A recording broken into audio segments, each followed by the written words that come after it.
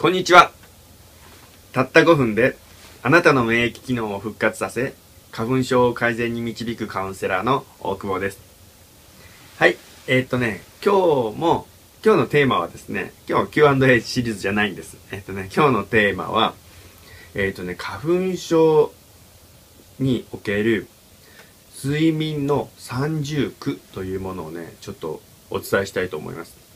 えっ、と、そもそも花粉症というのは一応病気ではあるんですけどもそんなに何て言うんですかねあの害のない病気とされていたんですね。っていうのはなぜかというと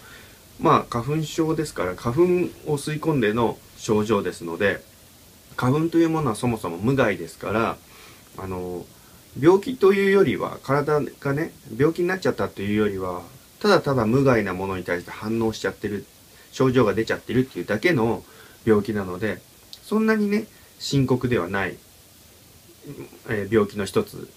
だとね認識できるんですけどもえっとねやっぱしね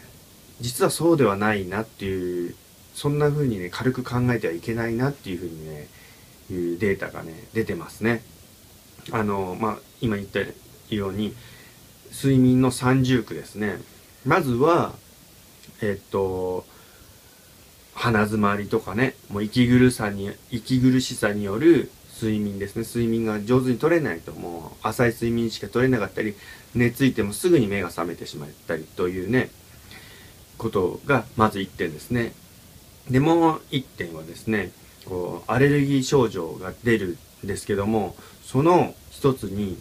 えっとね、炎症性メディエーターっていうね、こうなんですか、こう物質がね、体内から出出てくるそうなんですね。それが出てくると睡眠っていうのが、えーと、上手に取れないというかやっぱ睡眠の質が下がってしまうっていうね原因なんだそうですね。でもで3つ目なんですけども、まあ、これはもう薬ですね。あの薬を服用することによる副作用です。あの副作用ってねそんなに強い副作用って多分出ないと思うんですねあまり。だから副作用があるって自覚する人ってなかなか少ないと思うんですけどもそれでもやっぱし体に、ね、薬を入れてそれによる影響っていうのは、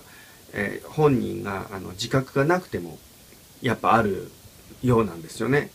でその副作用というのはやっぱり睡眠の低あの質の低下なだそうなんですね。でやっぱ睡眠というのはとても人間にとって大切なものですので、ね、花粉症というのはそんなに害はないというかそんなに大したあの病気ではないかもしれないですけどもそれにね伴った睡眠の質の低下というのはやっぱり健康にとってはねいいものではありませんのでねいい影響も与えませんからやはり花粉症というのはそういう意味ではちょっとねあの重要視しなくてはいけない病気なのかなっていうふうに認識できますよね。えですのでねやっぱあのもう花粉症でね苦しんでいる方もうただただ苦しいだけではなしにやはりそれに付随したねあの影響が出てしまうっていうこともちゃんと分かっていただきたいなと思います。はい。ということでね、今日はこれで以上です。はい。えー、たった5分であなたの免疫機能を復活させ、花粉症を改善に導くカウンセラーの大久保でした。えーと、これからもね、あの、情報をどんどん配信していきますので、あのぜひね、チャンネル登録の方もよろしくお願いします。最後までご視聴いただきましてありがとうございました。